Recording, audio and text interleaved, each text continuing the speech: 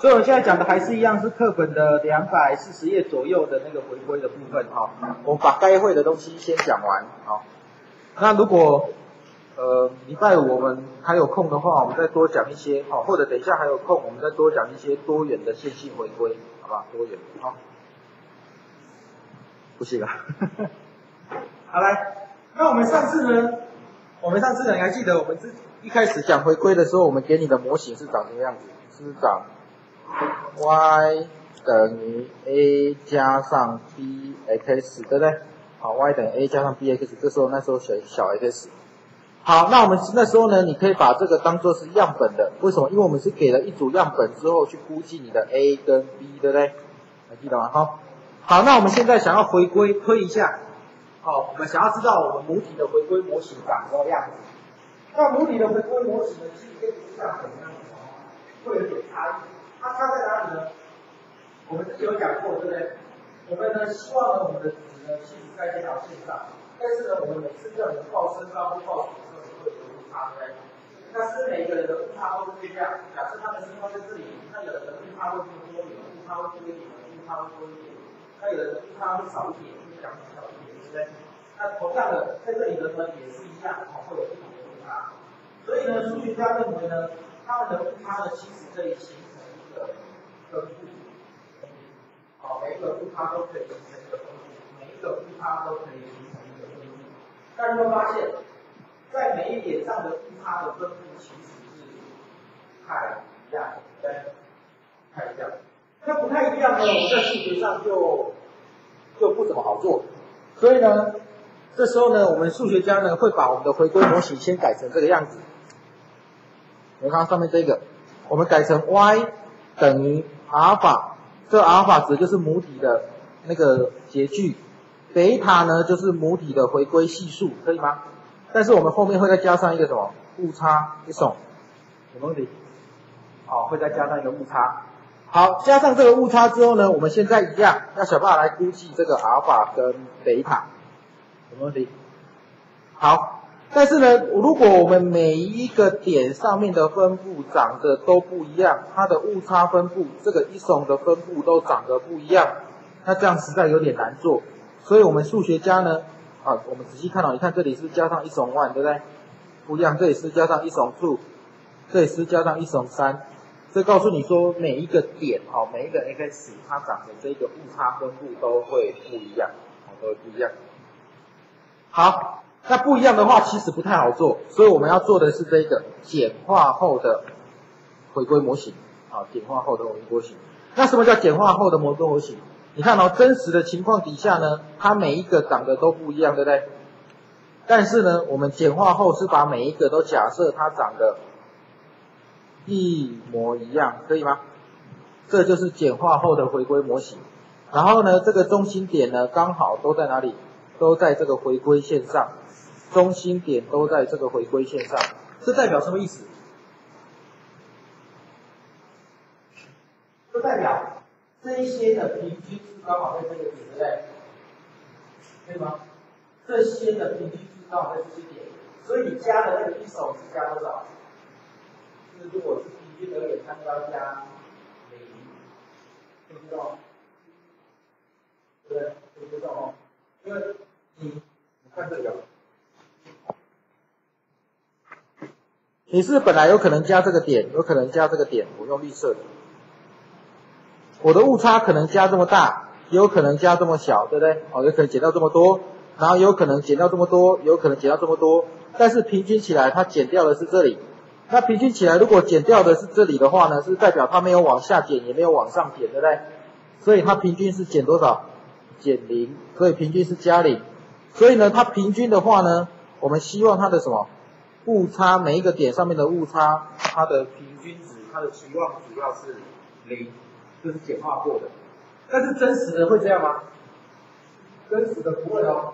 你看真实的，你看这个点，这个点数是平均数是不是减掉？对不对？好，看这个平均是减掉多一点哦。好，所以真实的情况底下不会。好，真实的这一个几率分布不会。好，就像你们讲出来的。你讲出来，如果有一个人，他都希望自己身高能够长高一点，所以你每次请他报呢，他都会往上报高一点。那他的平均报出来是不是都会加个一公分，加个两公分，对不对？那他的平均，例如这次报加一公分，下一次报加两公分，再下一次报加零点五公分，然后这样一直报下来，那他的平均至少也会加个一点点，这样对吗？好，平均加个一点点。所以真实的情况底下呢，他报出来的平均呢，其实是会，如果你报身高的话，是会多一点，啊，是会多一点。啊，但是呢，我们为了简化，因为简化之后比较好做，简化之后假设呢，你平均报出来，啊，平均报出来跟你们真正的身高会长得一模一样，这样对吗？哦，也就是说是没有误差的，平均上是没有误差的，是不是？所以我们做了一个假设，啊，平均是。好，另外一个假设呢是这样，我现在请你们每个人报你们的身高，那你们在报身高的时候，大家报出来情况是不是都会长得不一样，对不对？所以呢，你们的变化应该会是，对吗？这个变化大小应该会是不同的。但是呢，为了方便起见呢，我们还是假设什么？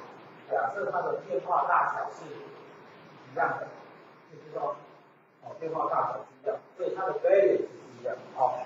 每一个误差呢，它的 variance 是一样的，所以会加上这一条。好，再来第三条假设，所以这是第一条假设，这第二条假设，好，这是第三条假设。第三条假设是假设呢，我们每一个误差之间是不会有影响的，好，是不会有影响的，它们的共变异数是不会有影响的。好，最后一个，最后一个其实不是假设，好，最后一个是因为我们有了这两个之后呢。我们在假设我们的误差，它其实它是服从正态分布，可以吗？那正态分布的中心点就是我们的零，它的方差就是四个马平方，好，方差就四个马平方。当我们有了这些假设之后呢，我们后面呢才有办法做一些简单的统计推论，好，简单统计推论。这一周是不是有很多事情要考试了？你礼拜几开始考？礼拜四啊，哦，就刘老师的课先考。好，讲到这里有没有问题？好，这个你可以抄一下，但是我跟你讲，我讲的我都讲实话了哈，没有考，好吧？啊，没有考。好，这个呢，我们课本好像有，我看一下在哪里。好。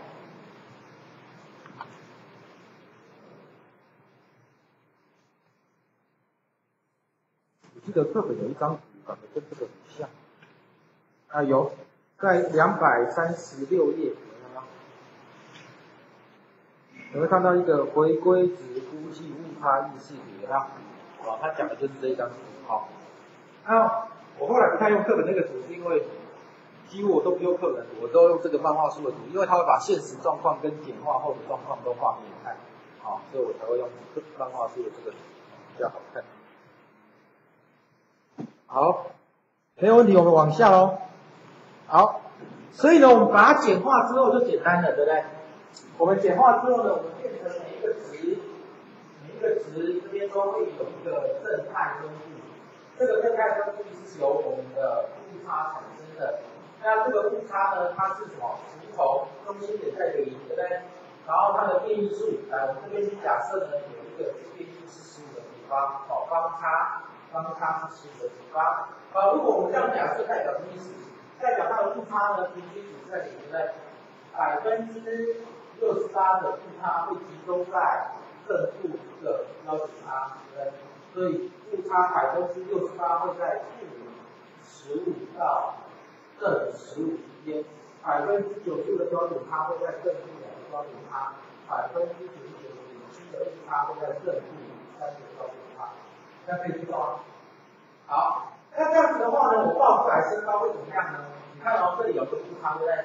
所以我报出来的身高应该也会跟着它变哦。所以你看，假设我现在有一个 x 等于七十五，x 等于七十五，我带进来，带进来，我算出来只是一百七十五，对不对？但是你会发现，百分之，因为你有一个误差都是在这里，对不对？所以百分之六十八的数据会集中在哪里？一百六十到一百九十之间，为什么？因为你要减掉一个误差，再加上一个误差，对吗？好，然后百分之九十五的数据报出来的数据会差点是两个正负标准差，百分之九十九点七报出来的数据会正负三个标准差，那可以看吗？所以你会发现呢，前面报升高点的数据大概都是从这个百分之六十八。其实如果你报升高是不会这样的，报升高应该不会有人报往下的，对啊，应该都报往上啊。好，但是经过这个假设之后呢，我们的模型就变简单了，而且比较好解释了，对不对？好，那解释起来比较容易。这张图看得懂吗？好，看得懂就很好了哈。好，所以我们一般其实课本看到的图是长得像左下角这一种的哈，怎么样？左下角这一种，它会从左右会有误差，对不对？好，就像我刚刚讲的，就是你刚刚那个蓝，如果没有看刚刚经过跳这一张就好了哈。那每一个点上去都有误差分布，每一个点都有误差分布，每一个点都有误差分布。那我现在假设它全部都是同样的正态分布，而且标准差、方差长得都一模一样。好，那方差长一模一样的话呢，我们现在呢可以算什么？可以算这个我们估计出来这个 y 的期望值，对不对？好，我们估计出来这个 y 的期望值。我们再回到前面这个。看哦，当我们 x 固定是七十五的情况底下，x 固定是七十五的情况底下，有的人 y 报在这里，有的人 y 报在这里，是比较少一点的，几率比较少一点。大部分是 y 都报在这里。啊，这些 y 呢的期望值是什么？是刚好是中间有这个一百七十五，对吗？好，所以我们就可以来算什么？算这一个分布的期望值，这个 y 分布的期望值，对不对？好，所以这时候呢，我们就把这个 y 的期望值算出来。所以呢，我们每一个点，我给你 s one，给你 s one 进来之后，就会有一个 y one，y one 就会等于阿尔法加上，为什么会这样呢？我的笔怪怪的哦。最近这台电脑很奇怪哦，它自己同步也不是很好。好，加上贝塔的 xi，但是不要忘记它再加上一个什么？误差的分布，对不对？好，那这边是一的话呢，这里就是 Y1，这里就是什么 S1，这样可以吗？那因为我们的误差分布会服从什么？会服从 normal 零，然后呢，这边会有什么 sigma 平方，对不对？所以造成我们的 Y1 也会服从这个分布，可以吗？那因为 y one 会服从这个分布的话，所以每次出来的 Y1 长得都不一样，对不对？好，每次出来 Y1 都长得不一样。所以我们就可以去算什么 Y1 的期望值，就是 Y1 的平均，可以吗？好，那你在算 yi 的期望值的时候呢，是什么？这个都是常数，是可以翻出来，对不对？然后这边就会变成是一耸的期望值。那不要忘记一耸的期望值是谁？中心点是零，所以出来其实就很简单。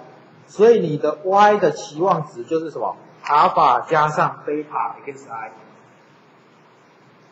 它这不是回到原来吗？我们之前在讲的不是 y 等于什么？a 加上 b x，这两个是长得一模一样，对不对？你看，这两个是长得一模一样，只是这个 a 跟 b 是由什么得到的？这个阿尔法贝塔是模拟的，对不对？然后这个 y 是数据的 y 出来的，我希望它看出来是 y hat，那这是 x。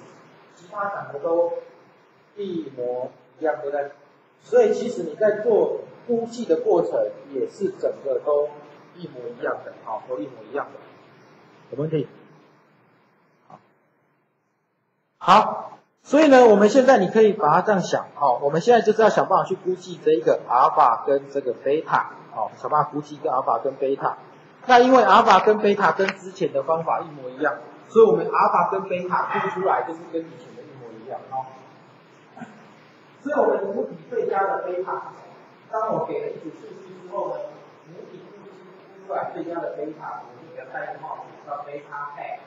贝塔 hat 就是我们，就是 s s 就是 y，就是数据的 s 减掉它的平均，减掉 y i 减掉它的平均，全部乘起来之后加起来，除以 S I 减掉它平均的平方，全部加起来，对吗？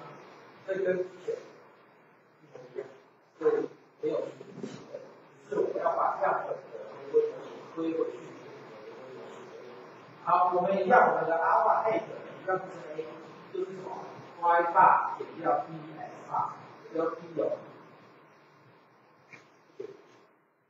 我看一下。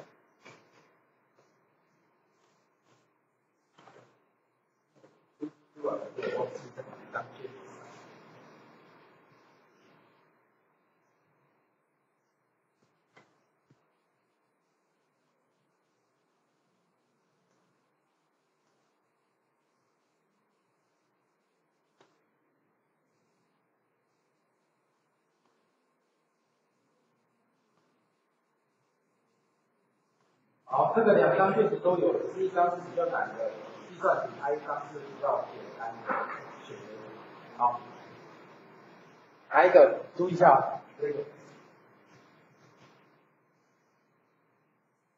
好，我们的中心点会通过回归线，对不对？好，回归线会通过我们的中心点，中心点会落在回归线上，这样可以吗？好，那这个的。有一题有一张卷子上来，要他的证明，然后另外一张卷子呢是问你是非对还是错，好判断。你知道是非题，你要判断。后来在网络上查了一下，所以你回去要看一下他的证明哦，好不好？y 大减掉哪一个证明？我再讲仔细一点。啊？证明是证什么？正 y 等于 a 加上 b x 的时候，对不对？我不是给你写记句吗？s one y one 到 s a y n 对不对？对吗？然后你要去证明什么？证明 y bar 等于 a 加上 s bar，可以吗？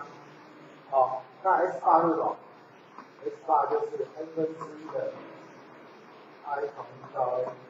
S I I 大是什么？就是 N 分之一的 I 乘到 N 这还会对吗？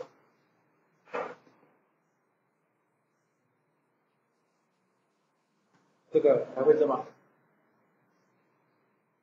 你是要从哪个地方开始算？从什么？S S 一对不对？S S 一至少是什么？是。dimension i 从一到 n 的 yi 减掉 yi take 对不对？好，还记得吗？然后这个会等于什么？会等于 dimension i 从一到 n，这里是 yi 减掉谁？减掉这个是 a 加上 b s i 对不对？的平方。然后我们希望这个要越小越好，对不对？要越小越好。那你要求这个极小值就是什么？r 求 s s 一对谁为分？现在对 a 做为分。好，对 a 做为分的话呢，外面纤维里面不动，里面抓出来，外面纤维直接二脱下来，里面不动，对不对？外面纤维里面不动，里面抓出来，对 a 为分是谁？负一，然后这个等于。那你把它整理一下，就可以得到你要的答案，对不对？好，再来整理一下。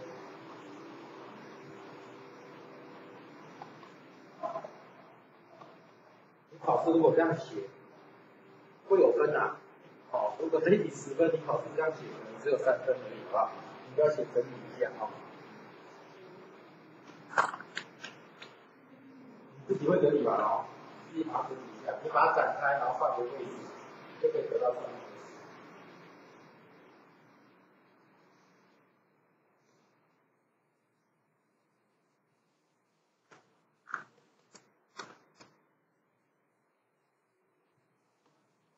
我昨天在在呃给副院长抽考卷的时候，发现一件事情：如果我把教材全部都改成英。这个叫做双语教学，对不对？好，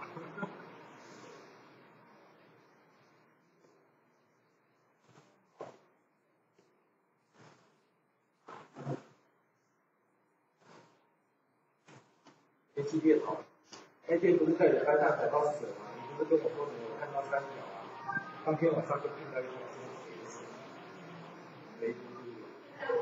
在那个庄家楼，在庄家楼啊，就是那个三级教师公公寓，我们那个公寓啊，要去旧公寓那个地方的时候，那个路上就看到说，诶，一条蛇大概这么粗吧，然后白色，然后身上很黑，我们在台湾那个叫雨伞蛇，那是，有那个是有的，啊，没有遮到啊，而且你们这些人好像不怕蛇，你们看到蛇就赶快要躲了。他好像被车主公照到，就等在那里就赶走，然后就有一个妈妈带小朋友两个人在那边看着他，这个新闻你怎么不怕死？好，然后我们一群台湾人就走到前面，就赶快躲旁边，再躲着走过去。然后后来我跟别人讲，别人就跟我说，武夷山在还没有卖茶之前是卖蛇的。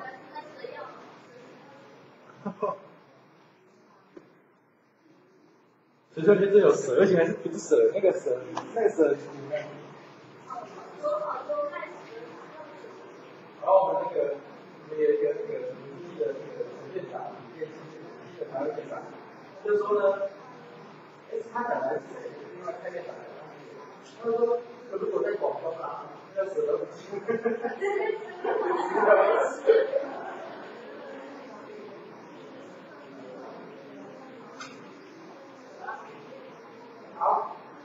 所以这个很重要哦，这个要记住哦。如果呢，你们拿到的是计算题的题卷，光这个这里就有十分。但是你如果拿到的是选择题的卷，它只是问你说这个点有没有落在题线上。那如果有的话，你答有，就两分；答对就两分。所以你要看你拿到的。他就开始规定了啊，规定说考察这里要有一卷，所以是也是一样的，抽到 A 卷，如果抽到 A 卷考，A 卷就是考吧，抽到 B 卷考，A 卷就是考，都都类似的，我们我们之前的那张，哈哈哈哈哈。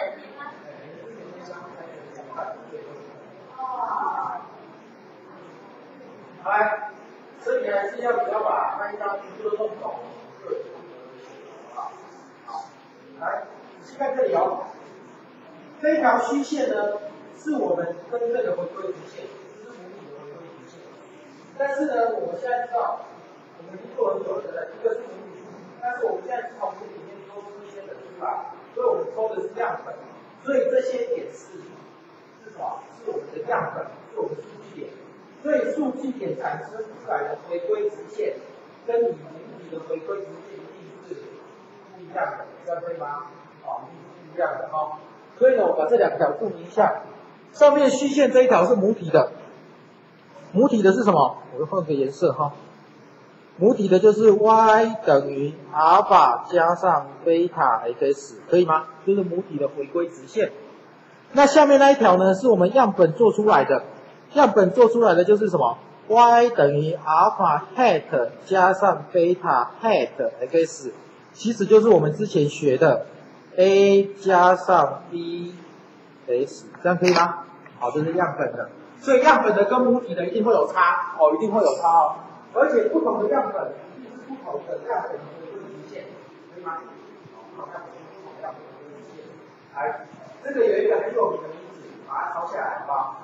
它叫做最佳 P 啊，bias 呼气，可以吗？好，最佳呼气，好，最佳线性呼气，好，把这个名字抄起来。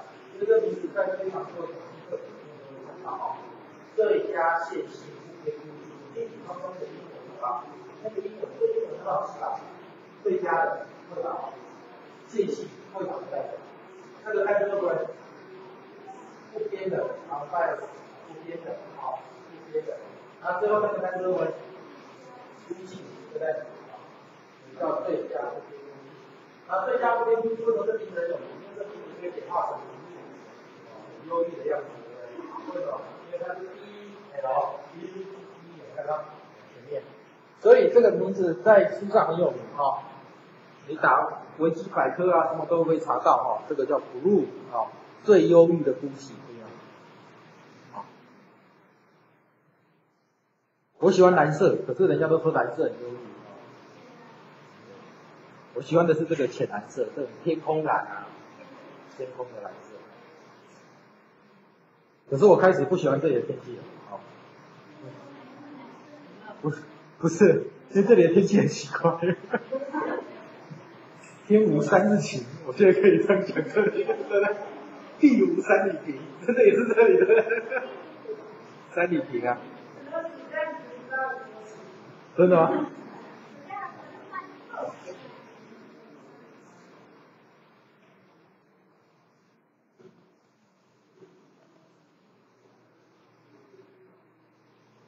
你们现在还会，呃，小学、初中跟高中会教古文吗？古文会教吗？会教唐诗宋词吗？还是会教？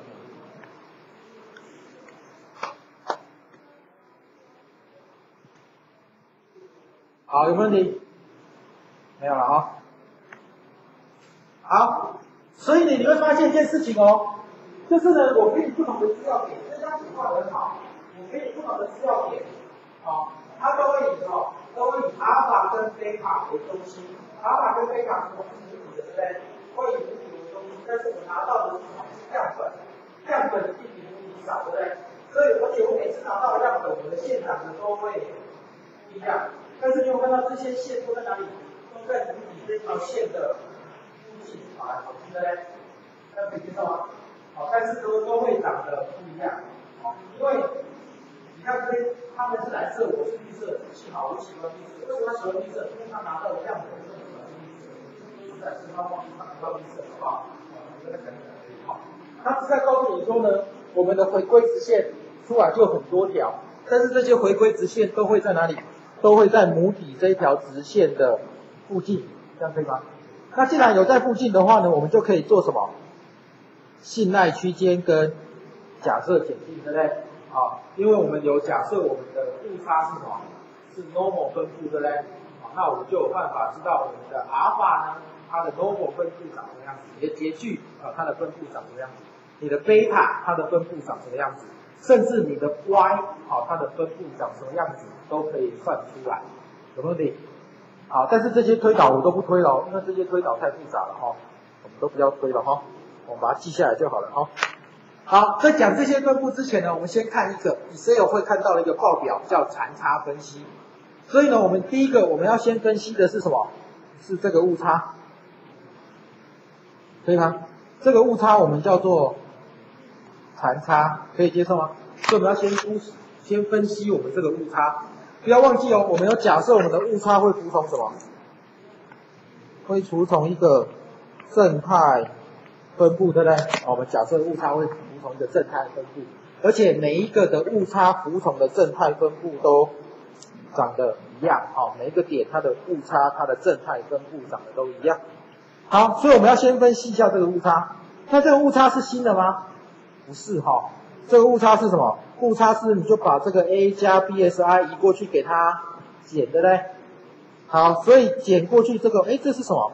这个就是我们之前学过的 yi。Take 不是吗？所以其实你的误差值就是什么？就是 yi 减掉谁？yi take，啊，这不是旧的吗？对不对？把这些东西平均加起来，把这些误差 yi 减掉 yi take 的平方全部加起来，这是谁？这是谁？在这里啊，对不对？哦，所以这是旧的嘛，这不是新的，这个叫。S S E 对不对？可以接受吗？好，这叫 S S E。好，所以呢，我们先看这个误差。好，所以我们先做一件事情。第一件事情就是跟 Excel 有关的。Excel 呢，它把 S 轴画成是我们的 X 的值，可以吗？好，X 的值。它的 Y 轴是什么？就是我们的误差。有问题？好，这个 S 轴也是什么？我们 X 的值。这个 Y 轴是我们的误差。这是 x 的值，这 y 轴是我们的误差。好，当你呢，你发现我们刚一开始讲，我们的误差假设是什么？假设它是正态分布才可以用，可以吗？那假设它是正态分布的话呢，也就是说，我每一个 x 它这个误差的点跑的都会长得不一样，这样可以吗？好，它会什么？它在每一个 s 上面呢，在每一个 s 上面呢，长期低下，它的平均会在哪里？零，对不对？它会零。百分之六十八会集中在这边的标准差，百分之九十会集中在这边的标准差，百分之九十九点零集中在这边第三个标准差，对吗？好，但是它会在这个底的周围这样跑来跑去。所以像这张图的话呢，如果你看它分析跑出来这张图，代表我用我的回归模型是没有问题的。但是你看哦，如果我打出来我的残差是哪边？你会发现你的残差其实是有一个模式存在，它是有一个，你看 U 字形向上，对不对？U 字向上，也就是说呢，它并没有反向刚刚那个形的怎么样？它这是一种有时候跑这里，有时候跑这里，有时候跑这里，有时候跑这里，对不对？但是你看这个不是，它这个一在这里，这里，这里，这里，这里，这里，所以你会发现你的误差跟你的什么有关？跟你的 S 有关。如果你的误差跟你的 S 有关的话，你就不可以用线性的。回归模型可以吗？你可能就必须要用所谓的非线性的回归模型，这里也是一样哦。这你会发现你的误差跟谁有关？跟 S 有关。S 呢在中间的误差很大，x 代表这个误差很小，哦，它会负的很大，对不对？它会负的很大。所以呢，它也是不可以用线性的回归模型，对吗？好，你必须你的误差长出来像这样，好，看起来是大概你的。中心，然后上下都有，好，上下正大，上下都有，好，这样才可以用线性的回归模型。好，这是用 S 来看，有人是用 Y 来看，啊，有人呢，他这里是用 Y hat 来看，那用 Y hat 跟用 S 是一样的哦，为什么？因为 Y hat 等于 A 加上 B S 是一样的，对不对？好，是一样的，所以有人会用什么 Y hat 来看。那你看，如果你以这张图，这张图能看到，它大概是以零为中心，然后上下正大，对不对？好，这样正大。所以这一个呢，如果你看到你的它是长这样，那你的回归模型大概是没有问题。但是呢，如果你看到的是长这样，那它为什么好像有一个 sin 的图形，对这个？就像是有个 sin 图形或 cos 图形，对不对？那表示它的残差跟什么有关？跟 x 有关，所以不可以用线性的回归模型，要用非线性的回归模型，这样可以吗？好，像这个呢，这个虽然它没有那种 sin 和 sin 那种图形，但是它有一个什么？S 越大，它的残差就越大，对不对？然后会有放射状。那这种的话也不可以啊，这种的话也不可以啊，也不可以用线性的回归模型啊。好，也不可以用线性的回归模型哦。呃，所以我们先看一下我们上次那个例子。我们之前不是有一个初一 S 跟初一的成绩跟初二的数学成绩之间的关联度嘛，对不对？好，你用 Excel 跑的时候呢，你也可以跑出它的残差图。那你有看到它的残差图呢？大概是什么？以为中心上下都有，对不对？好，所以还可以。但是其实呢，有一点不太好，为什么？因为它上面比较也还可以啊，因为它都在哪里？负到正五之间，对不对？哦，差不多在正大。所以它并没有那种刚刚讲的什么一字形啊，或一字形啊，或者什么开口向下啊，或者这样一个上的图形啊，或者这样放大的情况发生。所以这种情况底下，我们就可以用，就可以用什么？就可以用刚刚讲的线性的来做，可以吗？好，那这个长差图怎么做呢？长差图很简单哦。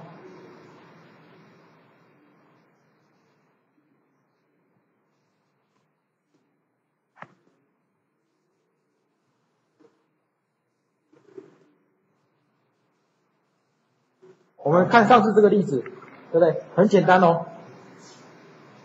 首先一开始我们一样点资料，资料里面的资料分析，然后我们一样去找到什么回归，对不对？然后按下确定。好，按下确定之后呢，Y 的范围先选出来，Y 就是选这里，帮我选。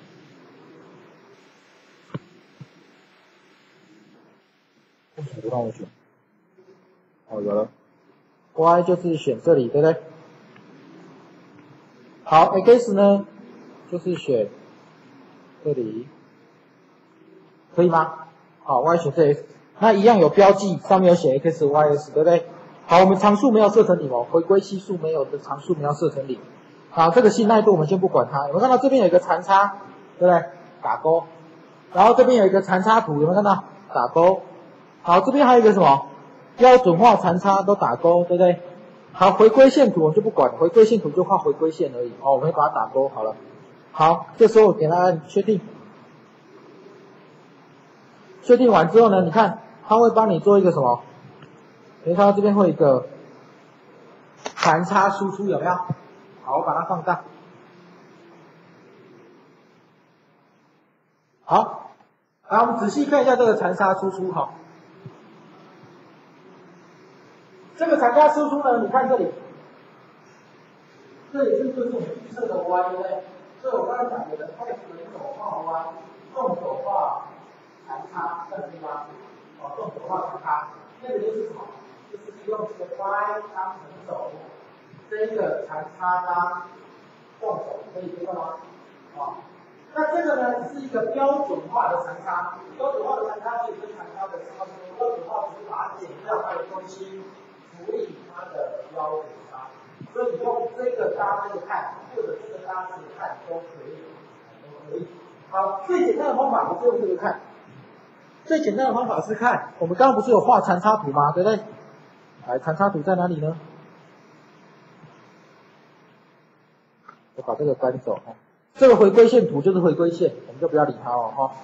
好，有没有看到这边有一个什么残差图？对不对？这就是我们刚刚看到残差图怎么样？它大致上是以哈零为中心，对不对？然后随机跑，有时候在下面，有时候在上面，有时候在下面，有时候在上面，对不对？好，在上面。好，但是呢，大概在哪里？负五到二十之间。然后它又没有一个什么看图看啊，什么一个形式，也没有什么放大的一个形式看出来，所以它其实是一个线性。但是你仔细看这个残差图，这个残差图它的横轴是 x，它的纵轴是这个。所以你很手其实不用 x 也不用 y，只是你用 y 你就要自己画，你用 x 的话呢，Excel 就帮你画出来了，这样东西，啊不难嘛哈。其实你们作业都做的不错哈，最重要是要会用 Excel 做，啊。我知道跟你们讲过对不对？我老婆的是真正念统计本科的，我老婆一直跟我强调一件事情，你一定要教你教你们看懂那个阿诺瓦表。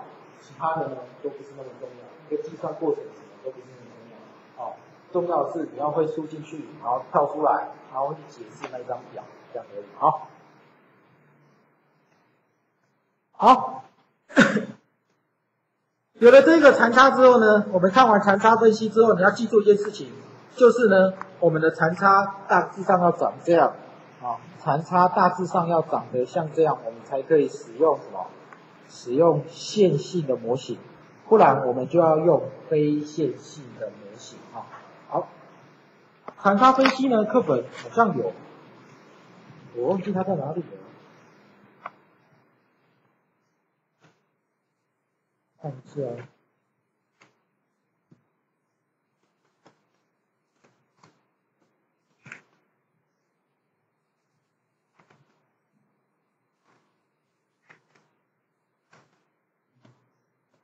啊，算了，找不到啊，不找了啊。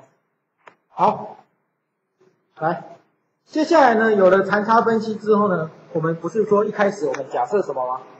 我们假设我们的误差会服从正态分布，对不对？中心点在零，标准差是方差是这 个马平方。好，既然有了这个之后呢，这是什么？这个是母体的，对不对？这是母体的。好，当我们拿到一组样本的时候，我们就会回到我们之前的想法，对不对？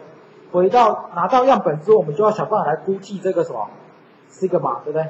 我们怎么用我们的样本的方差来估计我们母体的方差，这样可以吗？好，好，所以我们一开始要先看这些怎么来的，好。这个是怎么来的？这个是误差，对不对？这个像是哦误差对不对？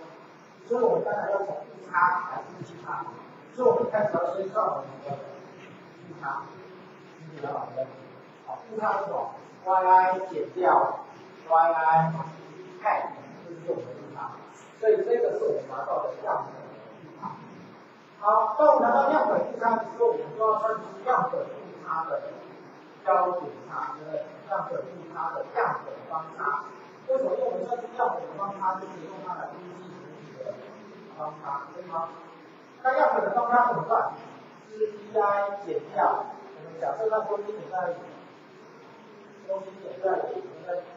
所以我们是不是每一个数值减掉它的平均的平方，全部加起来，本来是七 n，对不对？那如果是我们不是本来后来样本用 n 减一吗？为什么减一？因为平均数被用掉了，可以吗？那但是这里既然是 n 减二，为什么是 n 减二？因为这一个的平均数跟这个的平均数是一样的，还记得吗？会不会证明？这个不用考，不用担心。我们不是给你 x one、x two 跟相对应的 y one、y two 一直到 y n、x n 对不对？好，那这个平均是什么？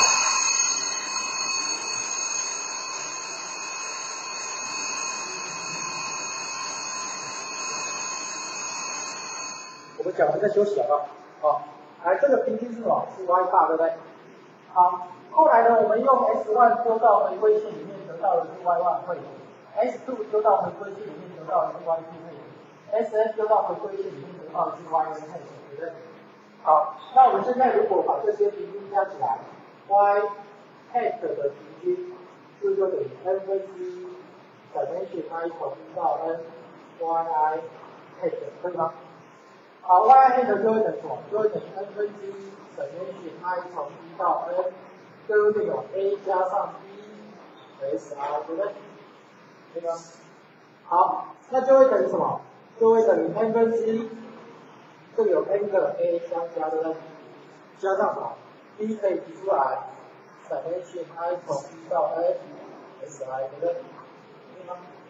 好，那就会等于什么呢？n 跟 n 消掉，所以这个 a 加上 b 乘上谁？十八。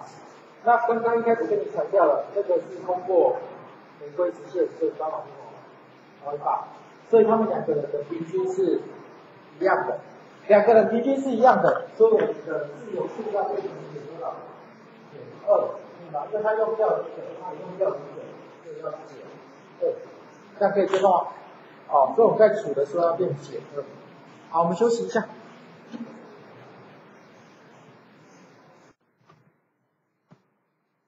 如果那些都没有毁掉啊，中国现在开始开放了，观光收益会是非常大的。你看整个欧洲，整个欧洲几乎，欧洲为什么之前会有金融风暴？因为欧洲几乎没有产力，它没有生产力，生产力全部都在亚洲，都在中国，所以中国的崛起是因为人力的生产而崛起的。但是呢，欧洲呢，它为什么可以维持一样繁荣、一样兴盛？因为欧洲它开发的是观光业，对不对？它那边有很多光，它光一个意大利，你看就有多少观光业，对不对？哦，罗马竞技场啊，比萨斜塔啦，威尼斯啊，等等，它都是一个观光业。然后整个德国，德国有工业，但是德国还是有很大半是观光业。然后尤其像瑞士啦、北欧啦、法国，法国更不用讲了，对不对？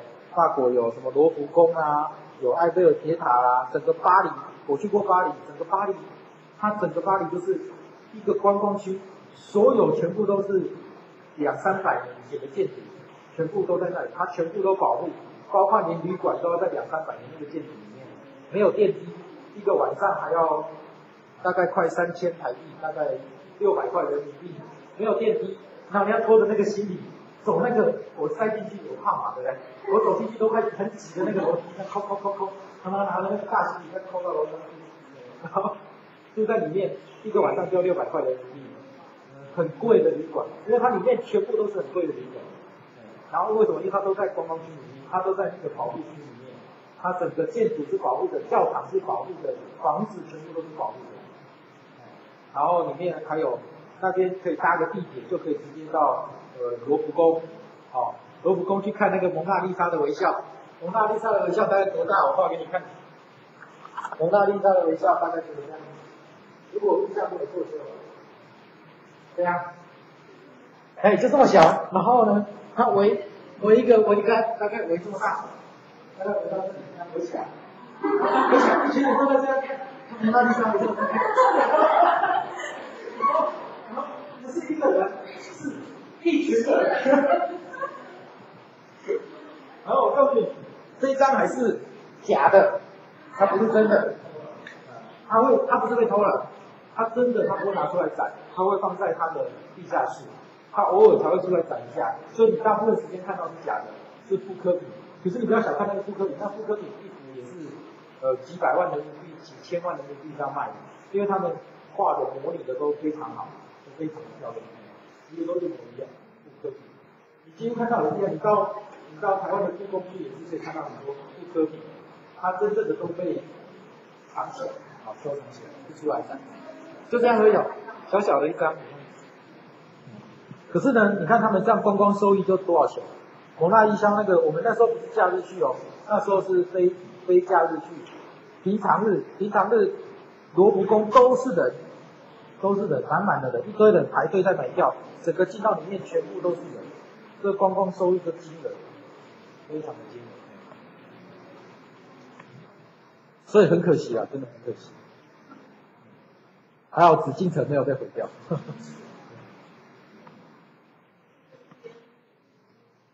圆明园啊，对，圆明园是圆明园是那些头不见了嘛，但是圆明园其实后来保护的还不错。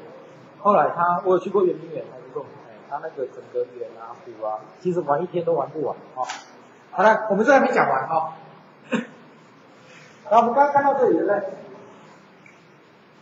我们呢，拿了我们的。样本的误差，那刚刚样本的误差我们写小，对不对？哎，这个考试你们要注意哦，因为在考考试你会发现一件事情哦，有一个东西你搞不懂哦。这个 B 是什么？是母体的母体的什么？母体的比例，对不对？如果我写 P hat 是什么？样本的比例，可以吗？好，我写 mu 是母体的平均数，当我写 S bar 的时候是。样本的平均数，所以我们在做虚无假设的时候呢，你会假设什么？母体的 P1 等于 P2，对不对？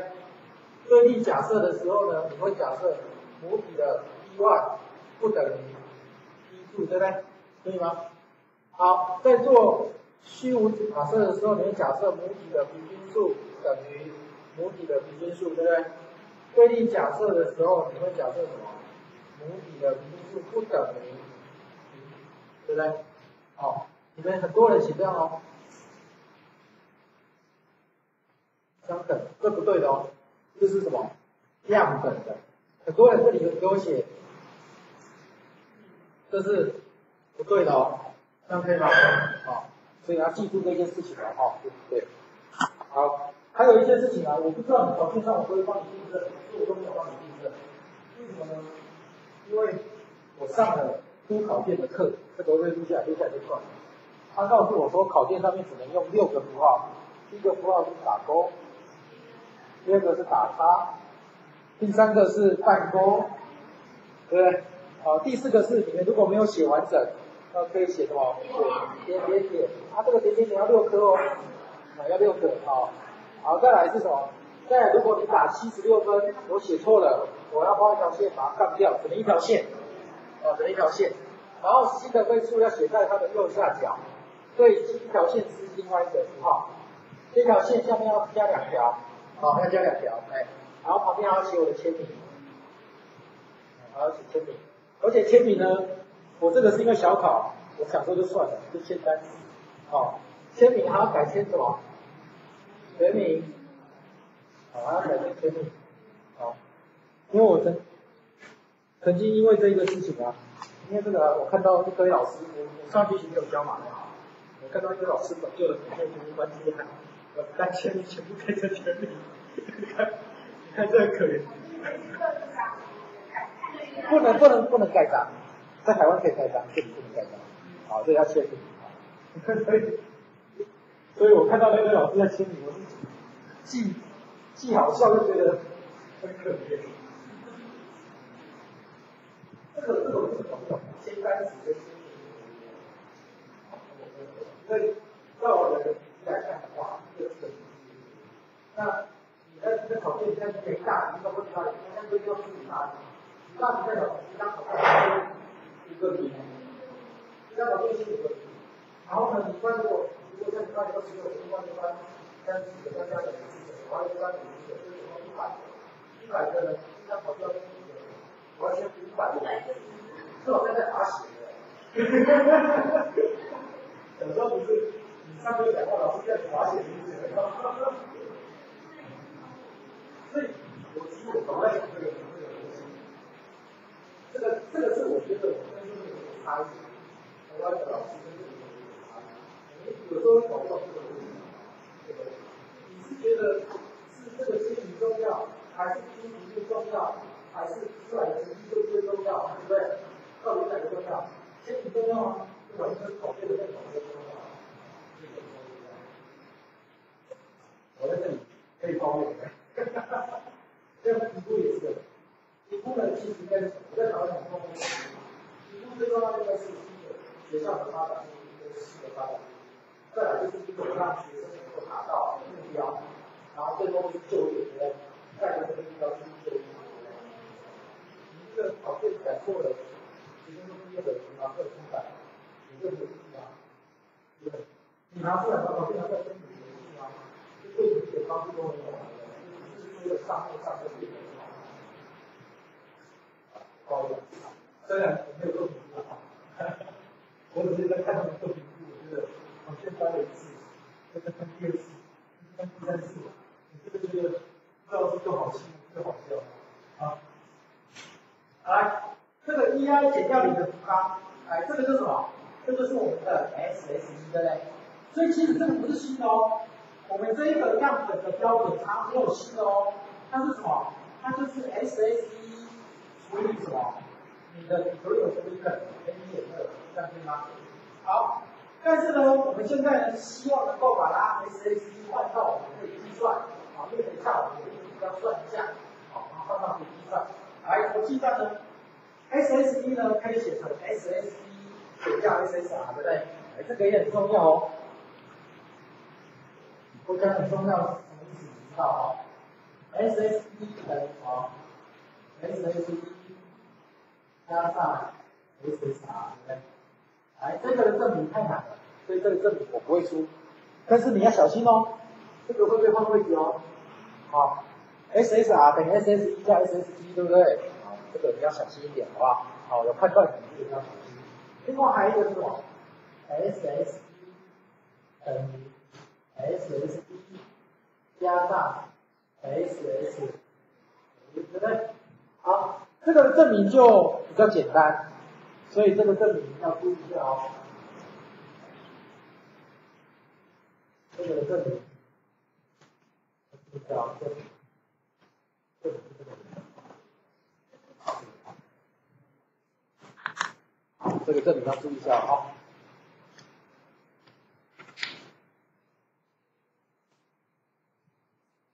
其实我蛮会写文章的啊，但是呢，我以前作文都被扣的很惨啊，因为我不会写字，所以我很感谢电电脑帮助我很多，因为没有电脑的话，我可能一篇文章我都写不出来，因为我写字但是我写的多，有时候记忆不好，那如果说你的字就是看到一篇文章里面好多 PPT，呃，因为我不会写中文字，中文字很难写。但是我看得懂中文字，所以打字的时候，对不对？在打字的时候，对吗？你要打前面几个，像我们第一句话是打前面几个英文字都跑出来就可以写，所以只要会第一句话。啊？我我不会用笔打字，我只会用这个打字。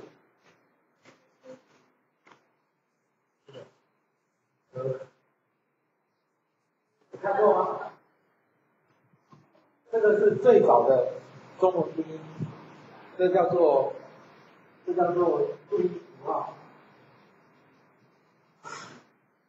你们以前不可以看到这个，你们以前不可以看到这个，以前两边在对立的时候你不可以看到这个，现在可以了。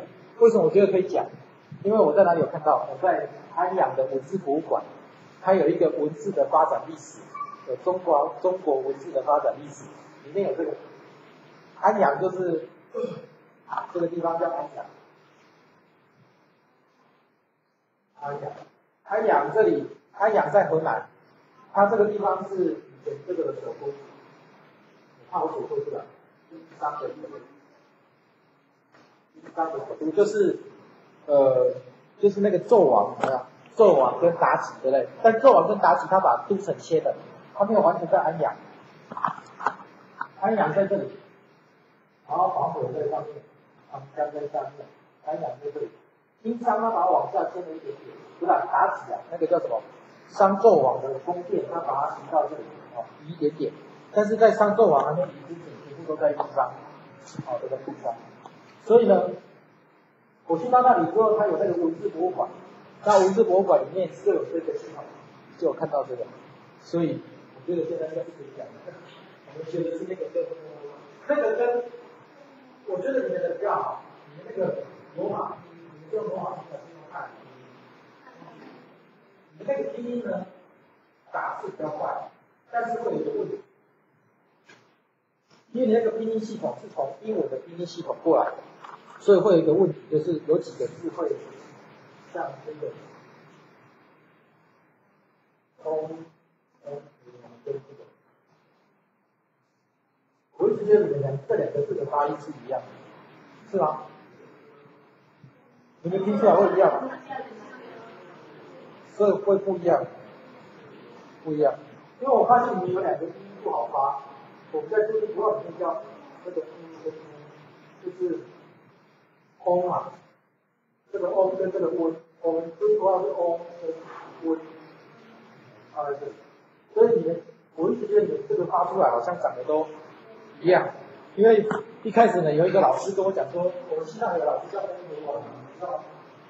知道？我们西藏自己系里面有个老师叫翁文广，然后呢，他每次都跟我讲翁文广，翁文广，翁文广，我就翁文广，翁文广，翁文广，我就去查这个字体，怎么查都没有翁文广这个，后来我才发现原来是这里发不清，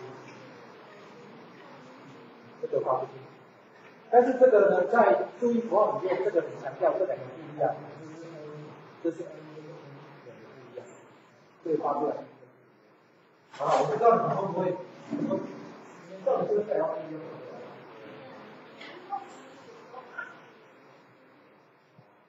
好，所以呢，呃，这个不重要，这个不重要，重要是这两个。好。S S D 等于 S S D 加 S S W 是这里，两张卷子非常好。好，这样我把图都给你们了，对不对？包括之前的，包括我现在提到的，好，因为有其中的都可以。好，再来，再来，我们知道 S S D 都等于 S S D 减上 S S R，那你过来，对不对？好，那你过来，好，来见。好，S S D 是什么？是 Y I 减掉 Y bar 的平方嘛？S S D 是 total，对不对？好，total，所以就是 Y I 减到 Y bar。那 S S R 是回归出来的，它回归嘛？你还记得这个是什么？回归于平庸，对不对？回归于平庸哦。我讲过这个故事了，对不对？就是呢，以前做研究，本来以为妈妈很高，爸爸很高，生出来的孩子应该要很高，对不对？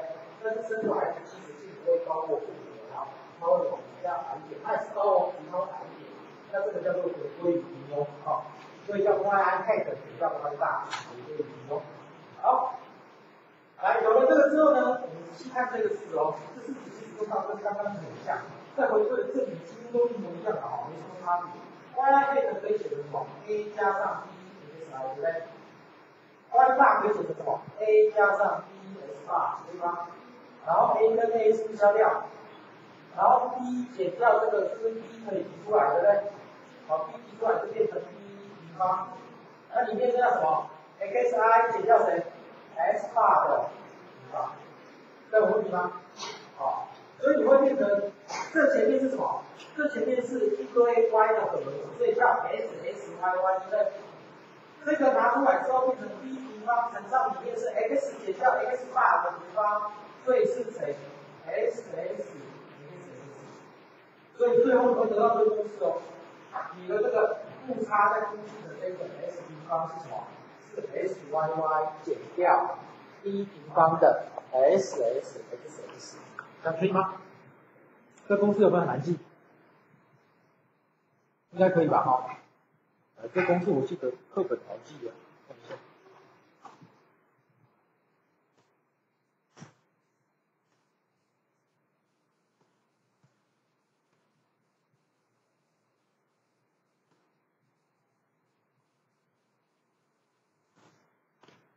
看一下。课本的公式在，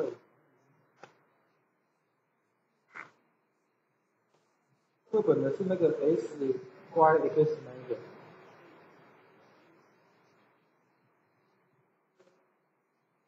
好，在那个两百三十七页，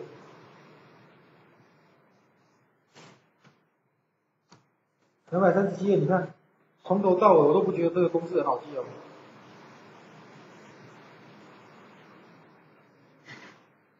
你们看到那个 s y x 就是它，可以吗？所以最后你看它会得到什么？后面反正很复杂就对了哈。好我看一看，我觉得这个是最好记的哈，这是最好记的，因为你在算回归的过程当中，你就要算什么？算 x y y x x 为什么？因为你在算回归的时候，你的 b 是谁？你的 b 是 S S x x y 除以，对不对？所以在算回归的过程当中，你就会算出这个东西来，这是什么东西来？这这个对不对？然后呢，你再怎样，你再拿 x y y 减掉 b 平方，答案，可以吗？好，因为这个不考了，所以呢，就不考了，所以我就不照课本讲，对不对？好，那接下来呢？接下来就是我这个 b。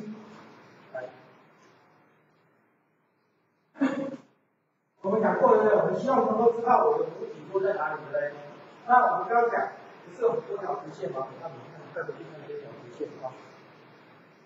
三别列表，干脆要在这里写就好啊。看哦，我们一开始不是讲吗？我们会有一条什么母体的 y 等于阿尔法加上贝塔 x，对不对？然后其他的什么，因为你的样本不同，所以我产生出来的线会不一样，但是都在它的附近。这样跑来跑去，所以你会看到他会讲说他以阿尔法、贝塔为中心来分布。所以我现在想要知道我母体的贝塔它落在的区间是哪一个，这就是所谓的信赖区间，对不对？百分之九十五的信息它会落到哪个区间？也就是说这个区间我造了一百次，里面有九十五次会包含贝塔，对不对？同样的，我也希望我的阿尔法知道它落在哪一个什么哪一个区间里面啊？哪一个区间里面？好。那这个时候呢，我们就必须知道什么？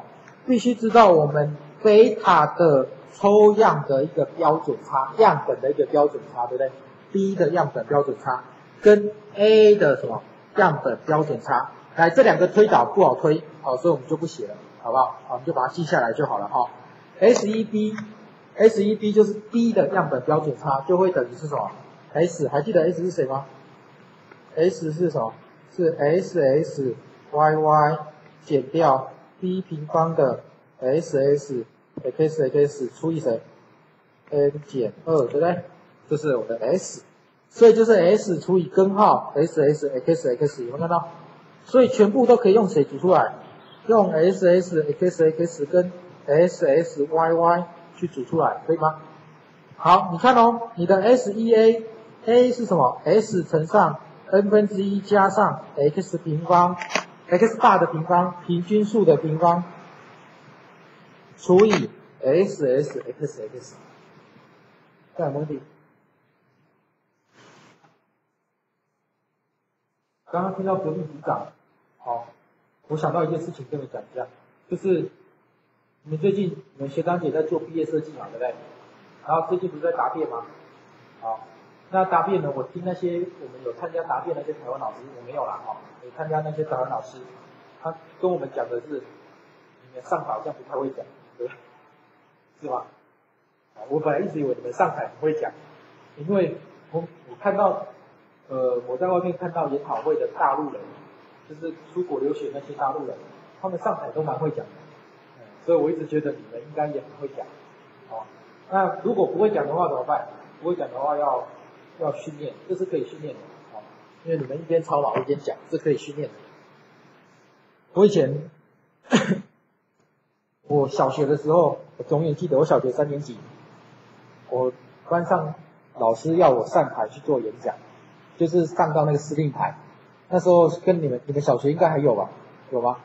就是有一个小朋友，然后上台做演讲，对不对？好，然后呢，他希望我上司令台演讲。结果呢，我妈妈很高兴啊，我在家里训练我很久，哦叫我一直对镜子讲，对镜子讲。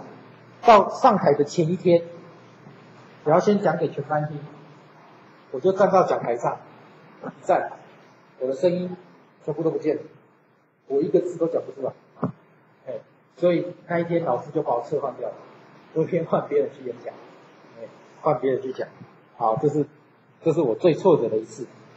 第二次是到高中了，很久了，已经到高中了。到高中了之后呢，要唱歌，就是你们不是有音乐课吗？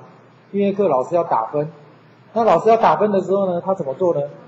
他就是一人唱一句，轮着唱。那时候我永远都记得唱《秋蝉》，你知道《秋蝉》吗？听我把春水交好，有听过这首歌？没有？好，《秋蝉》好，我永远都记得就对了，反正《秋蝉》，然后就一人唱一句就对。然后我记得我是第四句还是第五句，等唱到我的时候呢，我一句话都没有听到，不是我也在唱，可是我一句话都没有听到，我声音好像没有出来，一个字都没有出来。那是我第二次大的挫折，哎，我一个字都讲不出来。然后我后来觉得我这样不行，所以我做了一件事情，我就是在社团的时候呢，我那时候我参加校刊社，你看我竟然可以参加校刊社，的，作文写这么烂还可以参加校刊社，字写这么烂还可以参加校刊社。那时候我参加校刊社，我那时候参加校刊社其实不是因为这原因，是因为我心仪的女生文学很好，她应该会进校刊社，结果我就去选了校刊社。结果她竟然跑去古筝社，好，然后就到校刊社去了。然后呢，我那时候呢就想说，好，我一定要想办法让自己会讲话，所以我就训练自己。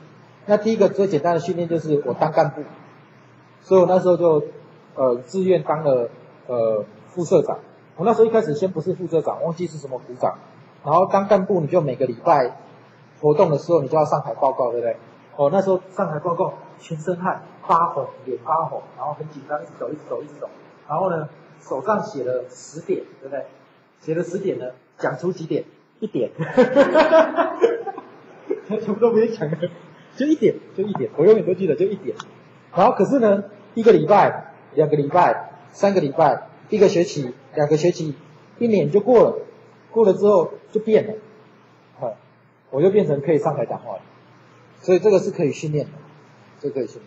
那但但是这个要花时间，你们真的要花时间，因为我们台湾老师是有的是带毕业设计，但是他说你们有的学生皮皮的，他要要答辩前一天还跟男朋友出去玩，然后也没有在练习。像我要出国参加研讨会，像我现在也是我要出国参加研讨会，那你出国参加研讨会，你不是讲中文，你是讲英文，那你讲英文，我们中国人讲英文多少一定是不好，所以你一定要经过练习，对不对？所以我要出国前呢，我那个投影片呢，我一定会练习五到六遍以上。我会怎么练习？我就自己把自己关到一间教室，一样是教室哦。然后我就把投影片像这样播好，然后我假设下面有人，好，主席谁都坐在里面，然后我从第一个字开始讲，好，我不看稿，我从第一个字，Ladies and gentlemen, good afternoon，就像这样就开始讲，然后就这样从头讲到尾，这样讲二十几分钟，从头到尾都英文。然后这样至少要练习到六次，我才敢出国去讲，这样才敢保证我上台站上去讲是不会有问题。所以你们，我要跟你们讲，就是你们答辩也是一样。你们以后如果真的有答辩，答辩的时候呢，你们不是会准备 PPT 吗？哦，你看我的 PPT 有没有全部都是字？不会字，对不对？你看我的 PPT 有时候是什么？有的时候是一堆图，对不对？好，没有字。你有看到一堆图，没什么字，对不对？像像这个，像简单的图跟方程式，那给你图给你方程式，你要自己会讲故事，你不要在 PPT 上面丢一堆字。好，我最常看到你们 PPT，我有看你们的学长姐 PPT，你的 PPT 从头到尾都字，为什么？字对你有信心啊？你抬转头过去之后，从第一个字念到最后一个字就好了，对不对？好，可是你觉得你这样的 PPT 下面听了会有兴趣吗？不会有兴趣的哈。我有看过韩国人是这样讲，韩国人一开始英文也不好，像你看这里我没有几个字，我只有几个关键字，但是我看到这个关键字我就要会讲，这样可以吗？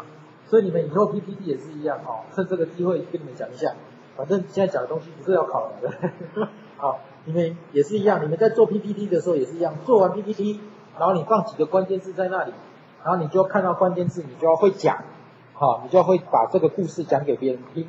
好，这才是你真正做简报的技巧。简报不是一堆字在那里的哦。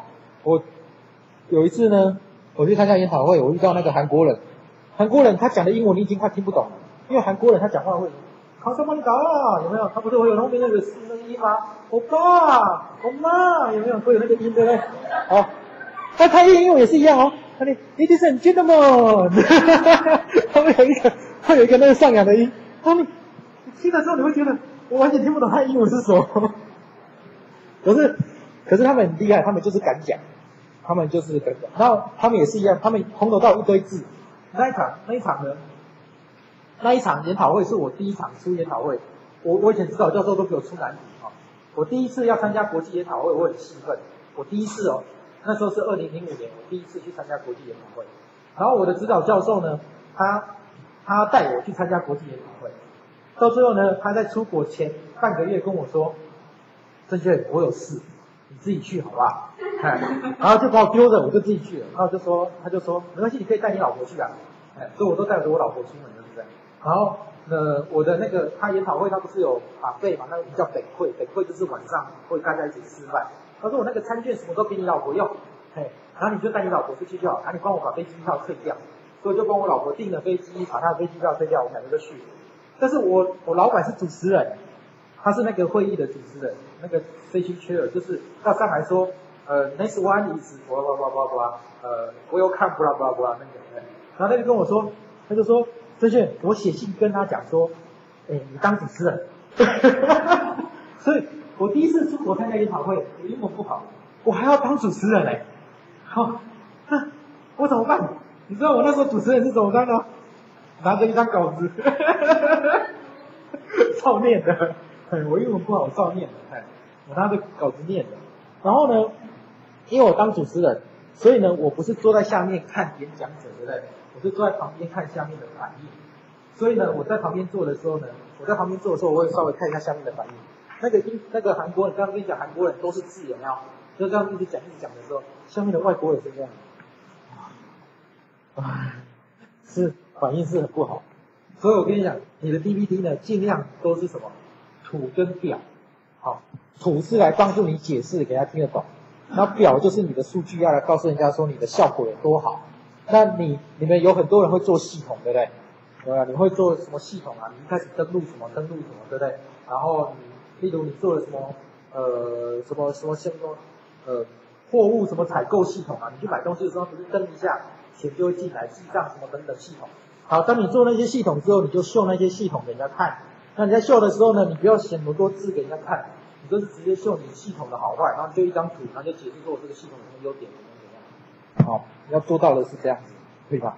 然后你们要尽量上台，就是训练自己的讲话。然后你要答辩之前呢，至少要训练。我自己出国都要训练六次的哦，自己给自己的底线五到六次啊。那你们答辩之前呢，到你们这个年纪，至少应该十次应该要吧，对不对？所以你们 PPT 放着，你就上来讲十次，十次不会很长啊。你答辩一个人大概不到十五分钟吧，我猜，对不对？因为你全班那么多人要答辩，所以一个不到十五分钟，那十五分钟你讲十次也在讲一百五十分钟，对不对？一百五十分钟你除以一分一小时六十分钟，你也才讲不到三小时，对不对？所以其实不会很长，只是你要找时间多练习这样。好，好，这个学起来比学这个后面还重要。好，好，好来。所以我们回到这里，好，应该抄完了吧？哈，好，所以呢，我们就会有它的信赖区间，对不对？来，就会有贝塔，贝塔会落在哪里？落在我们估计出来的贝塔 head，贝塔 head 就是谁？就是 b 加减什么？我们的 t，因为我们用什么？我们用 t 减定哈。那为什么用 t 减定？不要忘记，其实用 t 减定是最好的，因为 t 减定当你的样本数过大的时候，你的 t 分布会接近正态分布，对不对？所以你的样本数一大，其实你算出来的值就会跟正态分布算出来值非常的接近，这样可以吗？所以你 Excel 跑出来，其实大部分都是跑出 t 值出来给你啊。好，同样的，你的 A 呢，你的阿尔法就会在 A 加减啊这个范围里面啊这个范围里面。好，我们来算一个问题啊。来，这是 Excel 跑出来的。好，Excel 跑出来之后呢，你有没有看到？这边会有一个什么？会有一个截距，截距是谁？截距是 A 还是 B？截距是 A 对不对？A 加 B 的所以截距是 A 哦，不是 B 哦。因为我一开始会搞不清楚，因为我们高中学的课本是什么？一切方程式 y 等于 A 加 B 对不对？所以我会搞不好。所以记得截距先是 A 哦。好，现在是 A 截距出来，你看这边有一个下限有没有？他告诉你说，你真正母体母体的结局是落在负的七十到正的四十之间。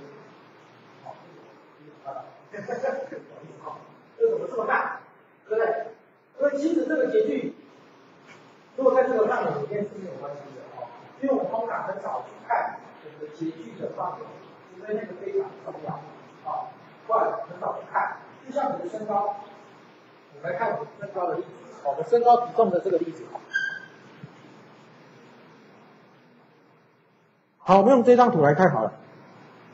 好，如果 x 是我们的体重来预测身高，当截距的时候，体重等于多少？体重等于零，体重会有等于零的吗？不会，对不对？所以截距不重要，这样可以吗？好，所以有时候那个你看那张报表的时候，你要注意一下。那个范围不见得你是要拿来用的，只是它报表一定会呈现好，呈现这个范围给你。那你还记得我们刚刚在做，刚刚在做那个 Excel 的时候，不是有一个信赖度可以选吗？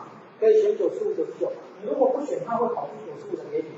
你如果里面打一个九十九，它会给你九十五跟九十九的，可以吗？里面如果打九十九点七，它会给你九十五跟九十九点七的，对，我会给。好，比较重要的是谁？比较重要的是 X 的期数。X 前面的系数就是我们的贝塔，好，就是我们的 B，所以我们的贝塔会落在哪里？零点四到二点零之间，有看到？所以它们会有正相关的哦，为什么？因为代表我们的斜率呢，有一百次里面，对不对？有九十五次会包含我们这个口，这个贝塔，那这个贝塔呢，它的范围就在零点四到二点零，也就是说它的斜率最小最小是一点四，最大最大到哪里？二点这样可以吗？好，所以它会有正相关，这样可以接受吗？可以哈。好，所以这个比较重要哈。我们一般而言是这个比较重要，但是呢，我有没有跟你讲上面这个不重要？没有，我们一般而言是这个比较重要，但是我并没有讲说这个不重要，要看你的问题是什么。如果你的问题呢在 x 等于零是有意义的，好，x 等于零是有意义的，那你的结句就有意义。这样可以吗？啊，但是你的问题如果在 x 零是没有意义的，像我刚刚讲体重不可能会有一个零体重的人出现嘛？啊，零体重的人他的身高多高这有什么关系？没有这个人会出现嘛？所以 x 等于零对这个而言结句就不是那么重要，这样了解吗？好，好，这是第一个。好，接下来呢？你看，我们又回到这张图来了。接下来我们刚刚已经看完什么？我们刚刚已经看完我们的阿尔法、贝塔，我们知道我们的阿尔法会落在哪个？会落在一个范围里面，对不对？我们也知道我们的贝塔会落在什么？落在一个范围里面，对不对？这就是我们的自信区间，对不对？好，阿尔法跟贝塔会落在一个范围里面。好，我们现在想要知道，既然阿尔法跟贝塔会落在一个范围里面，相对应的，我们出来的这个 yi 应该也要落在什么一个范围里面，对不对？